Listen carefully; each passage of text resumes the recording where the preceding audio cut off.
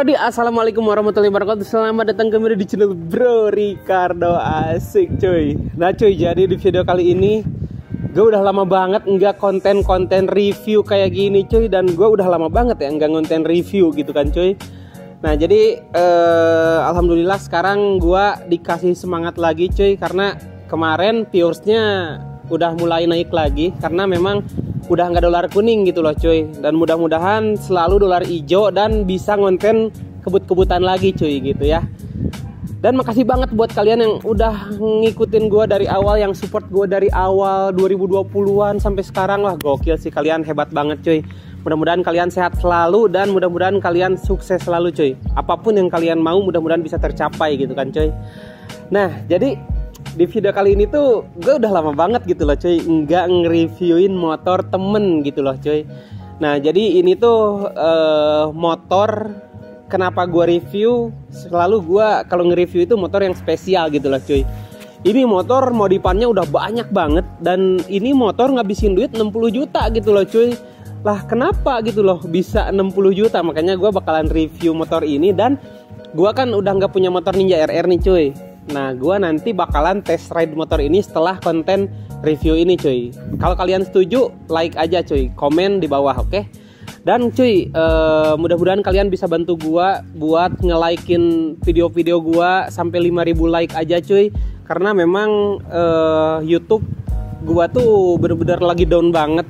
Itu gara-gara gue gak upload gitu kan, cuy. Dan gue gak upload juga, mungkin alasannya kalian juga tahu. Kemarin-kemarin gue udah bilang di konten sebelumnya aduh pokoknya terima kasih banget buat kalian yang udah like udah komen udah share. Dan pokoknya gue bakalan balasin satu-satu cuy oke? Okay? oke okay, balik lagi ke konten ini. nah ini kenapa gue nggak kontenin RE King gitu loh cuy? Ini kenapa ninja gitu kan? karena gue belum pernah ngom apa ya? belum pernah nge-reviewin motor Ninja SS dan belum pernah nyobain motor Ninja SS gitu loh cuy. Nah makanya gue nanti bakalan uh, review motor ini. Setelah review gue bakalan test ride cuy gitu.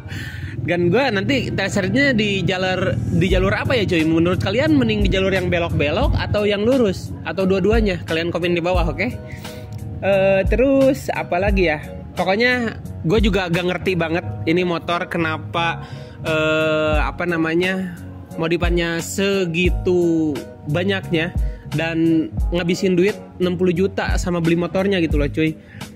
Nah sebenarnya ada part-part yang bener-bener di motor ini tuh emang uh, worth it gitu loh. Buat di motor ninja dan buat dimodif semahal itu. Apa aja gua bakalan jelasin satu-satu. Cuman kalau menurut kalian ini gue mending kayak gimana ya? Mending sambil gini atau mending gimana ya cuy oke lah uh, kalau misalkan gue jelasin motor ini dulu gue pakai kamera aja dulu dah. Jadi gini cuy motor ini tuh sebenarnya basicnya bukan Ninja SS tapi ini motor motor Ninja RR cuy Ninja eh bukan Ninja R. Jadi ada Ninja R ada Ninja SS jadi sebenarnya bedanya cuma beda tipis banget cuy di bagian depannya. Kalau belakangnya sama banget kayaknya cuy nah jadi motor ini tuh Ninja R yang di up ke SS gitu cuy. Nah dan sayangnya emang motor ini tuh bukan asli warna kuning. Aslinya itu warna biru Dan itu Ninja R cuy. Bukan Ninja SS Cuman emang gak ada bedanya sebenarnya cuy. Kalau untuk tenaga Kalau untuk apa namanya Performa itu nggak ada bedanya cuy. Tapi ini motor udah di korek-korek sedemikian rupa. Ini pun mesinnya udah pakai mesin yang Ninja Jet X cuy Yang tahun 2004 CBU dan ini blok-blok bloknya baru. Semuanya baru cuy. Sampai baut-baut baru. Dan ini motor mau dijual juga katanya cuy. Ini yang punyanya itu Adena Bibi Taiti cuy. Bibi Taiti Tasik. Nah ini yang punyanya itu Adena cuy. Nah gue dulu pernah nge-review motor r nya juga yang si hijau botol itu yang susi tride cuy. Itu pernah gue review. Nah ini gue bakalan review lagi motornya karena emang keren banget cuy. Ini keren banget sih kalau menurut gue nah ini kan kalian udah apa namanya udah tahu nih ya e, motor ini tahun berapa? 2009 kan? Terus ini basicnya apa? Nah sekarang gue mau nge-reviewin satu-satu apa aja yang dimodifnya cuy. Nah ini gue mungkin bakalan pegang kameranya aja dah kayaknya cuy. Apa bro bantuin boleh nggak bro Nah, gua bantuin si Urul aja lah biar pegangin kameranya. Jadi sekarang kita ganti kameranya ke 0,5 karena kalau sinematik karena eh, terlalu dekat mungkin bakal jelek juga. Dan sekarang gua kayak gini aja lah ya, biar gua ngejelasin apa aja yang dimodif dan yang gua tahu mungkin harganya bakal disebutin cuy.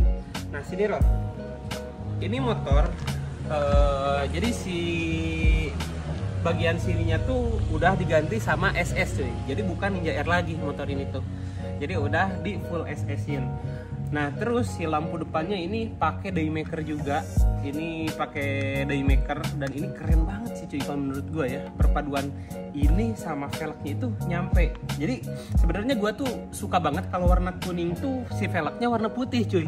Tapi berhubung motor ini si lampunya daymaker jadi si velgnya juga hitam. Tapi menurut gue sih emang bagus juga sih cuy ya. E, kayak seperti ini. Dan mungkin ini harganya di kisaran satu jutaan si daymakernya. Nah terus ke atas ini ini bener-bener masih bagus banget si apa namanya si speedometernya. Ini worth it sih cuy karena dia emang e, ngerestorasi motor ini tuh sedemikian rupa gitu loh cuy.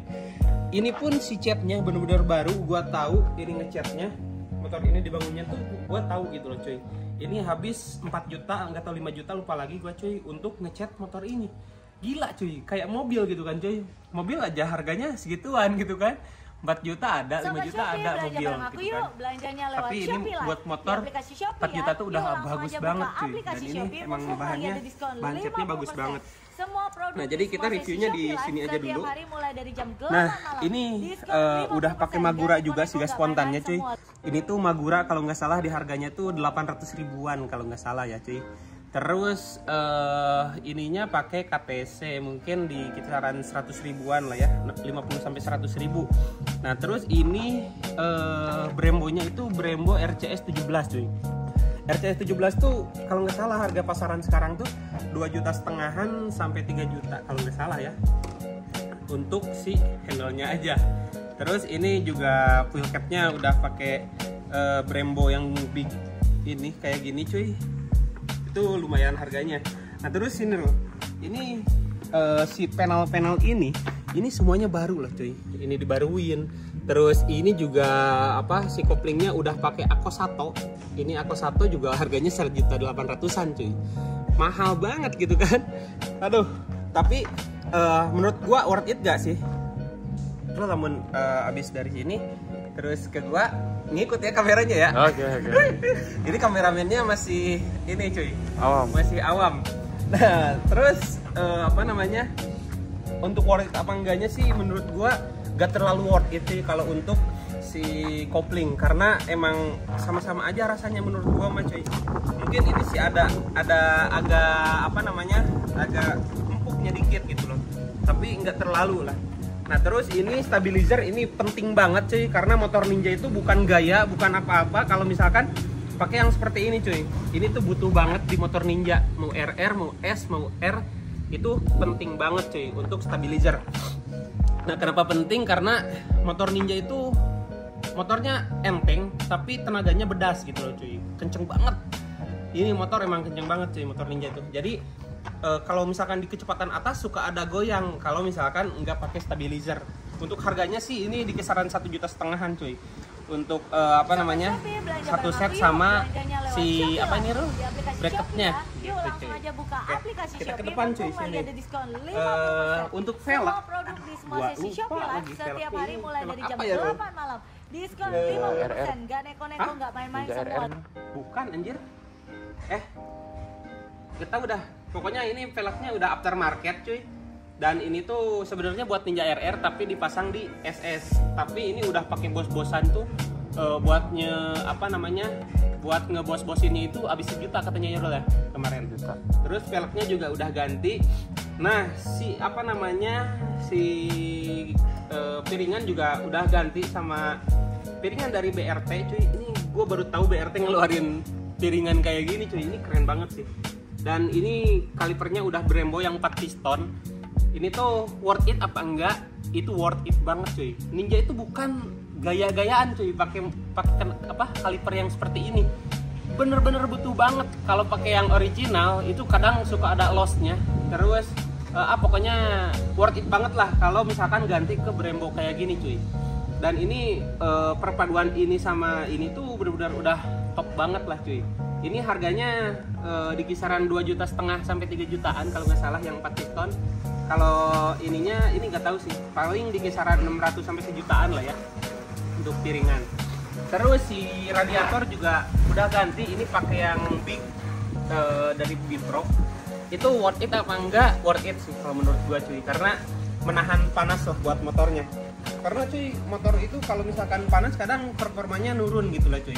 Dan ini udah diganti jadi aman gitu kan cuy nah terus eh, di sini nih si Adena ini emang lumayan apa ya detail banget. Sampai ke sininya tuh ini diganti eh, pakai hitam terus si selang radiatornya diganti pakai kuning.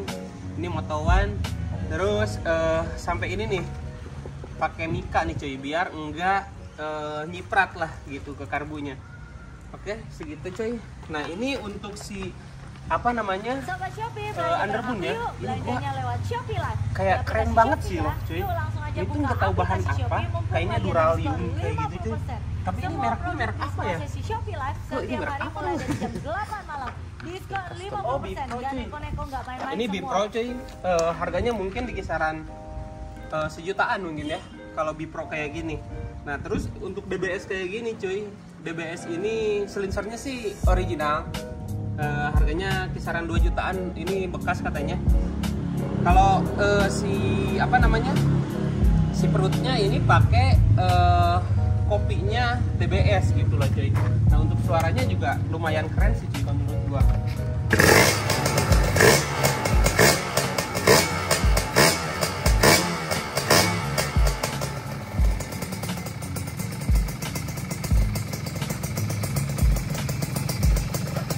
kalau menurut kalian gua keren gak sih kalau pakai motor kayak gini?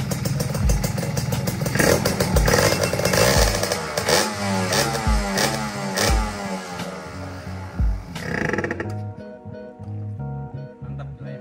Untuk suaranya kayak gitu oke lah. Tapi harganya emang lumayan mahal cuy untuk knalpot seperti ini. Nah terus ini Rol, eh, si ininya juga udah diganti ini pakai Vir apa ya? Ini baru baru lihat gua. Tapi ini di kisaran mungkin 700 ribuan gitu kan cuy untuk si ininya. Ini juga udah pakai Bipro eh, buat buka ininya cuy. Ini harganya eh, 700 ribuan. Kalau ini paling 100 ribuan mungkin ya. Nah terus arm belakang ini udah pakai Bipro juga cuy. Nah ini kalau menurut gua worth it banget kenapa ganti yang kayak gitu? Karena si Adena ini juga kayak performa itu penting banget gitu cuy. Karena suka kebut-kebutan juga gitu loh cuy. Dan harus benar-benar worth it gitu. Nah untuk si soknya ini udah pakai uh, Ohlins KW bukan Ohlins KW cuy tapi Motowan ini juga udah kuning. Ini serasi banget kuning sama ini cuy.